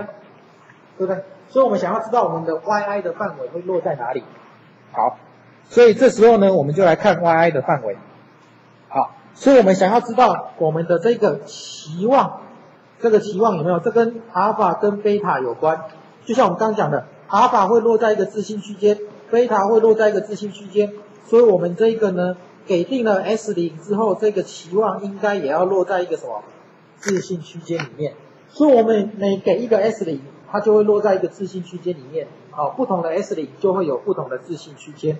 好，所以我们现在想要看这个自信区间长什么样子。来，公式在这里。这个呢，我们也不打了哈。来，这个公式背起来，不用背，不用背，抄习惯。好，不用背哈。为什么？因为说一、一、是有可以考到，这个不用背，不会考，好，不会考，不用背，都不用背哈。来，它在哪里？在 S 一的 Y hat，主要是这个标准差的估计。来，这个标准它的估计是什么？用这个 form 这个形式有很多，我们课本的形式。我看的四个课，四个课本打的都不一样，但是它们之间都能多维互通的，啊，所以你只要用一套系统就可以了。来，这套系统是 S 根号分分之一加上，到这里，x 零减掉 x 大的平方除以 S S S S，刚刚是 S 大，对不对？刚刚不是在估计 S 一跟一跟 A 的时候，对不对？你看到 S 大在这里哦。现在有 S 零，它是大，你看到，所以你会发现一件事情哦，你这个区间会被谁影响？会受到你的点跟谁的影响？跟 S 大之间的距离影响，有没有？也就是说呢，我们知道有一个东西一定会通过回归直线，哪一个东西一定会通过回归直线？考试会考的哦，S 八 Y 八，对不对？可以接受吗？S 八 Y 八一定会通过回归直线。当我的 X 在这里画，所以我们知道对下来，对下来这里是什么？S 八。当我的 X 离 S 八远的时候，这个如果大，这个值就变大，这个值变大，这个就会变大。这个变大呢，代表这个值就会变大。这个变大代表什么？代表你的自信区间变大，也就是说，如果你的 x 离这个 S 八越远，你的自信区间就会越越大，这样可以接受吗？好，这样可以接受哈。好，所以你会发现呢，你看哦，它每一个点 Y 的自信区间不一样，对不对？这个在百分之九十五的信息，它的自信区间在这里，对不对？好，到这里变大一点，到这里又变大。到这里又变大，又变大。当每个时间差越远的时候，它的自信区间就会越越大，这样对吗？就越大。这样有没有理？啊，就是越大。所以你会看到这里，有时候你都会看到这一个曲线，对不对？好。好，那这个曲线是什么意思？我把这个消掉了。我们仔细解释这个曲线比较重要哦。你如果在外面，这个曲线跑出来，这有什么？这可以有，这个可以有一个，有上面有趋势线，趋势线里面好像可以加上上下趋势线。我现在看看好了哈，我去看一下，如果可以，我一定要有考虑看。如果现在第一次想到用那个回归我不出来，但是 Excel 里面有一个趋势线，趋势线好像可以加上下趋势线。那它如果可以加上下趋势线，Excel 就可以考虑这个。但是很多统计软体哦都可以考虑这个图啦。考虑这个图代表什么意思？代表说，假设我的身高在这里，我的身高在这里，啊，我的身高假设是七十好，好，七十在这里，我有百分之九十五的信息，我真正的体重会落在这个区间里面，大家可以接受吗？好，它的意思是这样，所以你的身高越高，所以你的体重身高越低，你身高越高或者身高越低，你的比例越远，你的比例越远，这个区间就越大，代表你导出的就越。这个区间如果越小，代表这个是越，所以在哪里最准？在你的平均身高的这个地方是最准，这样可以吗？好，好，好，所以你要会解释这张图就可以了哈。最重要是要解释这个图。好，所以我们来看一下这个例子。好，这例子我们之前看过了，这是九个学生，我们从头再看一次好。这个学生，我从录里面抓出九个学生他的身高是。我希望我的身高来一个体重，因为我刚刚讲的是在讲身高当你身高等于你的体重是多少是没有意义的，对不对？我有人身高是你，体重还有出来的，对不对？好，不可能有这种东西，对不对？好，你还记得我们那时候算的时候算这个出来吗？对不对？对不对？是有 s x x s y y s s y，对不对？好，算出来之后呢，我们也可以算出 b 跟 a，对不对？这我们上次都讲过了哦。好，好来，重点在这里。当我有一个人，他的体重是身高是七十六的时候，我把这个讲完好不好？好，很快，好。啊，算了，不要我再讲。好，我们继续哈。好，那接下来呢，我们刚刚讲每一个点，对不对？我们一开始就讲了，有没有？就是每一个点呢，它都会有自己的一个范围，对不对？好，那我们现在想要知道它的信赖区间是什么，所以呢，我们就把它的这一个好标准物一样把它算出来。好，你们看到它是什么？x 零减掉 s 八，所以我们上次有讲过，它是以什么？它是以 s 八为中心，对不对？那你会发现 s 零只要离 s 八越远，这个值就会越大，对不对？越大的话，你的这个误差就会界限就会越大，对不对？所以你会发现呢，这个 x 呢，如果很远。这个误差界限就会比较大，x 呢，如果离 s bar 比较近，这个误差界限就会比较小，好，就会比较小，所以你就有办法知道说呢，我的资料呢到底会分布在哪里？你会发现，几乎全部的资料都落在什么？落在这个界限里面，因为这是百分之九十五的信赖区间画出来的，好，可以吗？所以几乎所有资料都会画在里面，好，好。所以呢，我们以这张图来看，好，以这个来看，上次看到这例子，好，好，我们这里有九个学生的身高，好，他的资料是长这样。那我们这一个呢，其实就是刚刚那张图。好，首先第一步呢，我们也是一样要算出这些值来。最重要是要谁？这个 s x s 对不对？跟什么？跟 s s y y，好，最主要是有这两个。但是你要算回归系数的话，要有谁？这一个对不对？好，不要忘记回归系数 v 等于什么？v 等于 s s s y 除以 s s x x，对不对？好，所以我们上次就把它算出来了。好，回归系数是五，v 是五，对不对？a 就拿什么？y 爸减掉 b 爸我讲过了，这个很重要哦。不是考你会考你什么？s 爸 y 爸这个点会不会通过这个回归直线，对不对？啊这是呃选择题、判断题，随便的啊，反正类似的，我也忘记我出什么题啊。好，所以这个算出来是多少？负两百。所以我们知道我们的回归直线是 y 等于负两百加上五 x，这样可以吗？好，那我们现在最主要是要把它的这个上界跟这个下界给它找出来，对不对？我要把这个上下界找出来哦。所以我们要怎么找呢？首先，第一个，我们针对每一个点，好，针对每一个点，我们现在只看七十六这个点，好，每一个点不一样哦。为什么每个点不一样？因为你的公式这里有一个叫谁？S 零，S 零如果离 S 八越远，你的区间就会越大；S 零如果离 S 八越近，这个区间就越小，这样可以吗？好，所以每个点都不一样哦。好，所以你看我们现在呢，一开始先算 S 平方，S 平方的公式都不用背，好，考试不会考。S s y y 减掉 b 平方的，这考试不会考哦，你不用背，你就看一下就好了哦。b 平方的 s s s 是 n 减二，对不对？这其实不要忘记这是什么？这个就是 s s 一除以 n 减二，好，所以你要把它想太复杂，它就是什么？每一个误差 y i 减掉 y i 减减掉你的平方除以加起来就是 s s 一，对不对？你这 s s 一可以展开成 s s y y 减掉 b 平方 s。好，好，那我就把它该有的记忆全部带进去，算出来是六百三十二点两百八十六。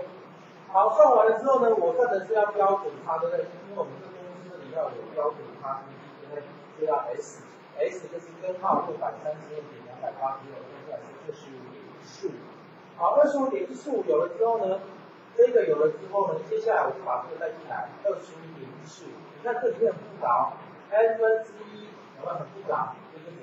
就是有东告诉加上这个点离它越远就越大，所以这个点要在七十六点六十八，一定是六十八的平方两百四。好，算出来就是这个份。好，这个但是告诉你前面是二十五点一四五，后面这个开根号里面是根号零点三七八号，里面是零点三七八所以你看呢，我现在拿的是七十六，所以这个比较大。但是如果拿的是六十八，那边就变零，对不对？如果这个拿的是六十六，这个就只有八二，好，或者怎么样四，就是变成四啊，对不对？所以你要看这个地方会有大小。好，算出来之后，你就有办法算出它的上下界有没有？好，它是用 P 值，P 值是二点三六五乘上二十五点一四五，再乘上这个根号，算出来就会发现它都在哪里？一百八十。好，这个加一加是一百八十，加减三十六点五七三。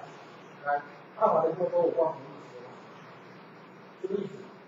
你有百分之九十五的信息，就是我算一百四十是这个区间，对不对？三百四十九四十五是这个区间，我这个一百五十会落在这个区间里面，可以吗？好，我们看一下，一百八减掉三十六，是小于一百五，对不对？好，一百八加三十六当然大一百五。所以一百五十会落在这个区间里面，好，一百四里面有九十五次会落在里面，但是有五次会不对，这叫百分之九十五的信息，对吗？好，这个意思如果懂的话就是很简单，好，好，我本来想考这个，可是我后来看一看，我自己在按计算机算的时候，我都觉得我自己都快算不来，对，所以我后来想想算了，不要考，好。有问题？没有。好，没有问题。来，这边有一个 T 分布表哦，T 分布表再复习一下哈，这怎么查哦？为什么要 T 分布表在这里？主要是这里有个 T，自由度是七，有没有看到？为什么自由度是七？哎，对，n 减二，这边总共有九个人，所以 n 减二就等于九减二就是多少？七哦，所以自由度是七。那因为我是百分之九十五的信心，对不对？所以呢，你如果以这里面来看的话呢，中间是百分之九十五，对不对？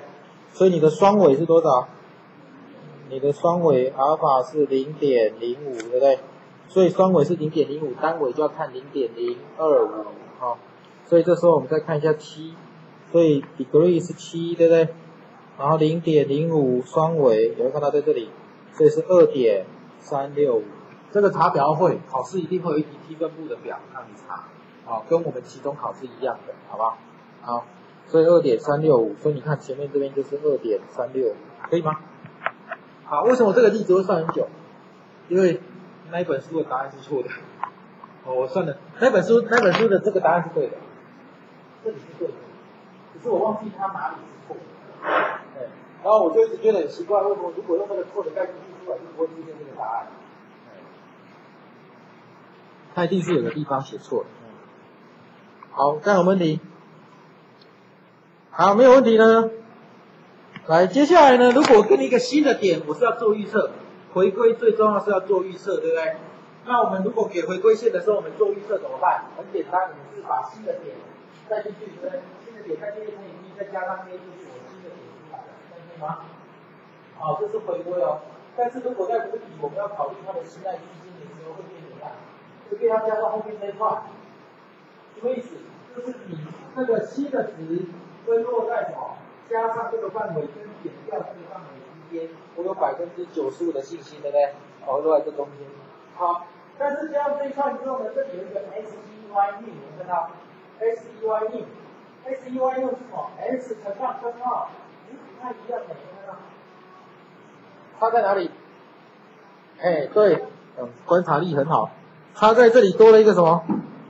一加，好，这个是因为要不偏估计而跑出来的啊。这个我们不管，这个证明不容易证啊，这证明也不好证啊。这个是记得，要多出一加就对了。所以这公式会长得不一样，要多出一个一加。但是一样的道理哦，就会看到 S 零如果离 S 八比较远，这个区间就会放大，对不对？如果 S 零比 S 八跟 S 八很近，这个区间就会缩小哦。以后你在学建模的时候也是一样。以后你建模里面有一个东西叫做，我们叫适配，你们知道叫什么？我们叫适配。那天那个戴乐乐有跟我讲，讲一个名词。戴乐乐应该认识吧？他是叫戴乐乐吗？是啊，他的名字叫戴乐乐。啊，我有一次看 PPT 上面的叫戴乐乐。那个。适配就是呢，我要拿一条线，就像回归一样，我要拿一条线来内去这些点哦，以后你们如果在学，呃，以后你们学到建模的时候，会有很多不一样的，像你可能会看到这种。那像这种的呢，你找出来的直线就应该会长怎样？应该会长得像这样，对不对？可以吗？好，那你找出来长这样的时候，你会发现一件事情，你在中间的这个地方会是准确的，好，但是这个凹点不定，但是要交中间这个地方准确的，在两边这里会不准哦，在两边这里呢，它怎么长都可以，会不准，跟这个道理是有点像，有没有？这两边呢，它的误差会变大。那为什么两边误差会变大？因为你想想看，我在做这一条这一条直线的时候呢，我必须用到它左右的点，对不对？如果它左右的点很多，你用开勒展开式的想法来看，如果它左右的点很多，这边开勒展开式就会比较准确。但是你看，如果这边的点比较少，是这个点的附近的行为，它的变化差异都比较大，可以接受吗？所以你会发现呢，它在两个端点的时候，它的变化行为差异会变。大，这个是合理的，好，是合理。那越接近什么？越接近数据的中心点，这边的数据应该会越多，所以这边的变化行为就不会太大，这样可以吗？好。我觉得今天外面一队走来走去，是我心理作用吗？好，这样问题。好，没有问题的话呢，现在如果有一个新的人叫七十六进来，好，七十六这个人进来之后呢，你看计算公式上面都一模一样哦。这个一样，这个也一样，他在哪里？它在多了这个一而已，多了这个一，这里就变成一点三七八，就不一样了，对不对？你们这个数值就会放大，这等于告诉我们什么？当你在做预测的时候，你的不准确性会比较高，对不对？你会放大比较大，这样可以接受吗？在做预测的时候，你的不准确性会比较高，好，这就带进来，好，带进来之后，你就会发现，哎，它的这个误差的界限比刚刚来的大，现在是六十九点八一五，啊。那刚刚那个是什么？三十九有没有？哦，三十六，对不对？是不是差很多？有没有？哦，所以它的误差会因为你是做预测而放大哦，你会做预测而放大。好，那旁边那个漫画画的很好，看一下，我记得我把它放大，有没有看到？这个漫画画的很好，他什么意思？他的意思是说，我的界限有多大？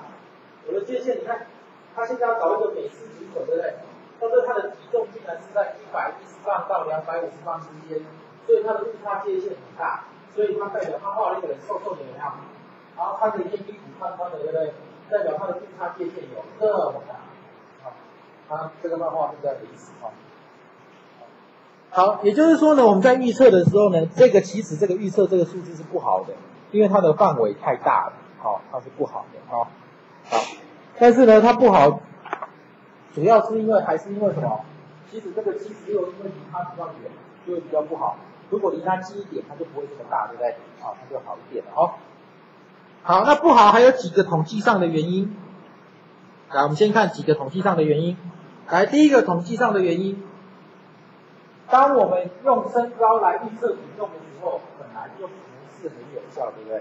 啊，身高跟体重有一定的关系，但是不完全是一个必然的关系。这我们用想就知道。只是我们在做题目的时候，我们通常都拿这个来当例子嘛，因为身高体重是我们最常见的。所以你看身高体重还有什么影响？他们美国人喜欢吃卷饼的，啊，我我们这边没有 Costco 啦，呃，Costco 是什么？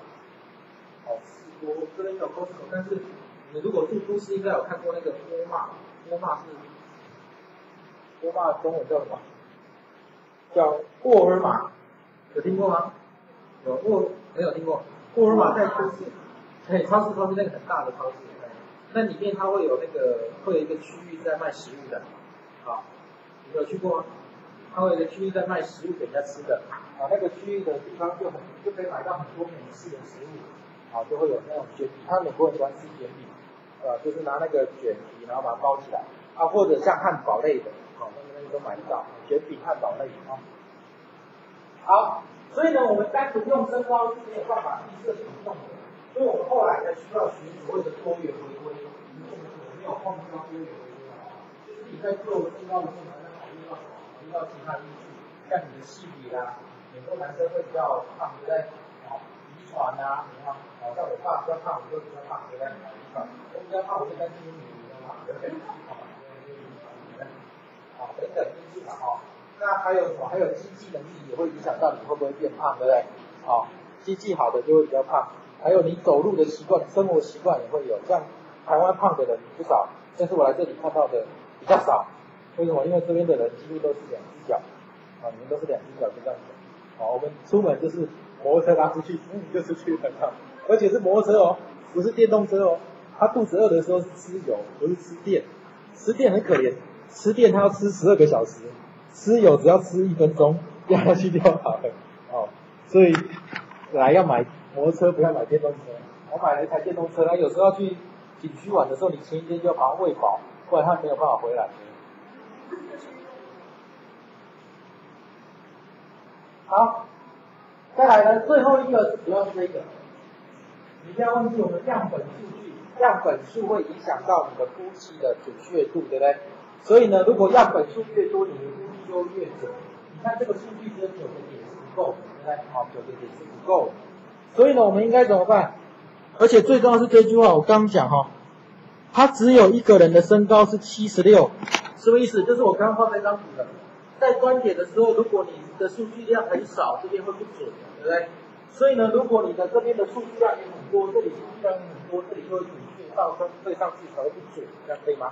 好，好，所以呢，我们就可以得到这个，如果呢，我们把所有九十二个人的样本。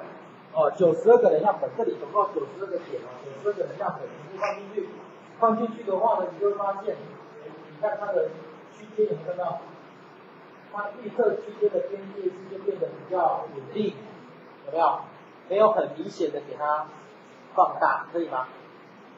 了解为什么？哦，你的点越多的时候，你看刚刚就九个点，这边会变得很大，对不对？你看现在九十二个点进来了，这边的点就不会放大那么多哈。这样可以接受吗？这一张图很疑惑吗？可以吗？呃，这张图就是刚刚那个，刚刚这个是不是九个点？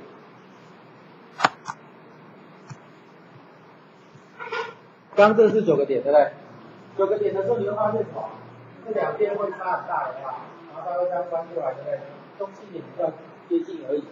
但是如果我的点数多了，好，我的点数多了，看到，如果我现在点数变多了，好，点数变多了，你会发现它这两个地方呢，它的这一个这一条线，它就不会像刚刚一样，刚刚不是会这样放大吗？对不对？你看它就不会放大了，有没有？它就会变得什么？比较稳定，这样可以吗？好，点数变多，它就变得比较稳定，好，好，这有没问题？那你有没有发现这个叫预测的边界？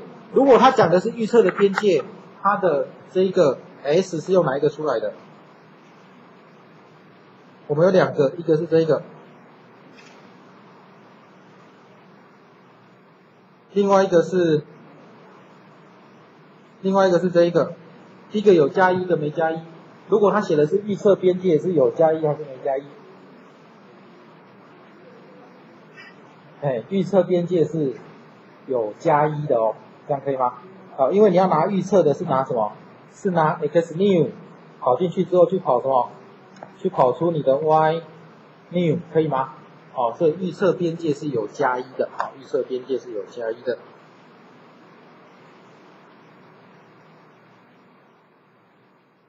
这样没问题。我这边讲的比较快，是希望你把概念抓起来就好了啦。哈，哎，我没有要你都不会考。我怎么觉得今天？有人在那边看，今天这一段是在干什么？今天是茶堂吗？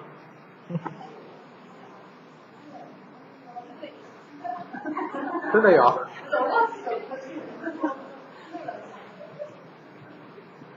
可是我一直觉得奇怪，怎么好像有人在？我觉得人人有一个第六感，好像都很准确。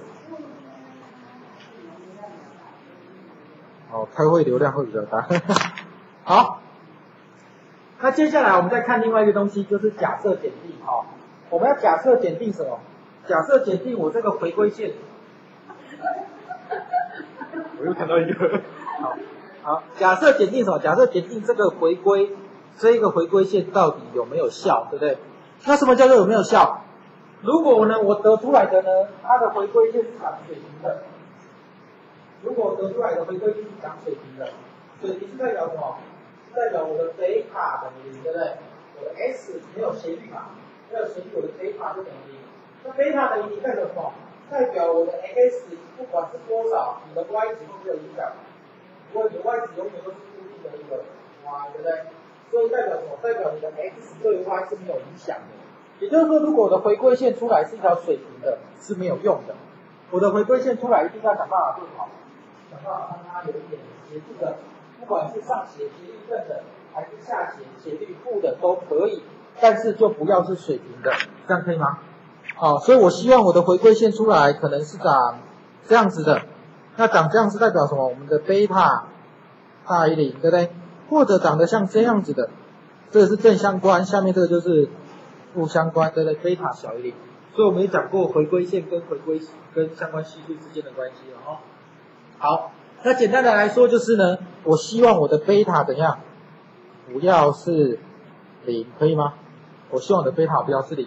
哎，这时候我们就有办法做检定了，对不对？为什么？因为我们就可以把我们的虚无假设假设成贝塔等于零，我要想办法把它比对掉，所有的对立假设就是贝塔不等于零，哦，就可以想办法做检定了，哈，做检定。好，所以呢，我的原始假设就是我的虚无假设，我的贝塔就等于零。那统计量很简单，统计量是检查什么？检查 b，对不对？那既然检查 b，b 等于零。贝塔等于零，就代表说 b 减掉贝塔除以 s 一 b，对不对？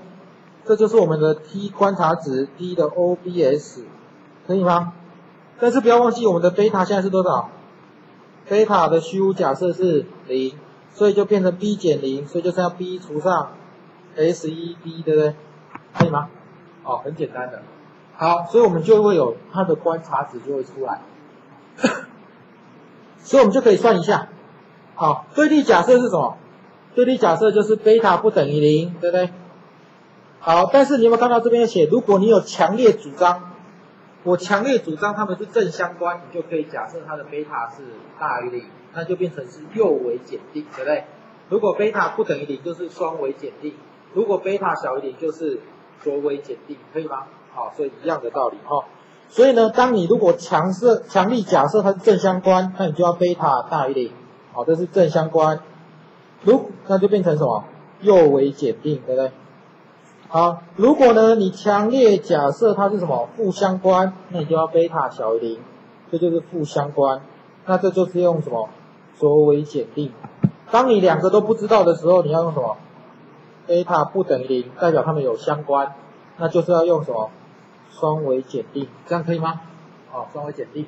好，所有的观察值就直接拿刚刚的五除以一点六二，好，一点六二。好，除出来之后是三点零八。好，除出来是三点零八之后呢，接下来我们就要看什么？你看这里有没有看到？如果你的对应假设是贝塔大于零，就要用什么？右尾，对不对？右尾就是看什么？看你的观察值。右尾就只有看这里，对不对？好看你的观察值。会不会大于你的临界值？可以吗？可以接受吗？如果大于临界值，我们就拒绝虚无假设。好，好，那如果贝塔小于零的话，就看的是谁？看的是左尾的，对不对？左尾的就是要看你的什么？你的临界值会不会小于你的什么观察值？对不对？好，会小于观察值，会就拒绝虚无假设。啊，如果是双尾的话，就要看什么？就要看两边，对不对？好，就要看两边，可以吗？哦，我这个是顺便在复习你们会考试的哦，好，所以你不会考，好，是复习你们考试会考的东西哈。好，这题不会考，现在讲的都都不会考。你看，我一讲那个就不听了，你看。好，所以呢，我现在 T 呢？当你七个自由度的时候呢，T 是多少？一点八九五。我们可以查哦。当你自由度是 T，然后呢，我们现在呢，它的什么显著水准阿尔法是零点零五，但是不要忘记我们刚刚用的是什么单位，所以现在这个阿尔法是零点零五单位哦，单位是零点零五，对不对？好，零点零五的话，我们来看一下它是多少。自由度是七，零点零五，自由度是七。单位是零点零五，所以在这里，所以是一点八九五，可以吗？哦，所以是一点八九五，所以我们再回来，哦，所以是一点八九五，这样可以吗？好，这边教你查表。好，当你的 t 值如果大于一点八九五的时候，就是显著。那我们来看一下，我们刚刚算出来 t 值是多少？三点零八，有没有大于一点八九五？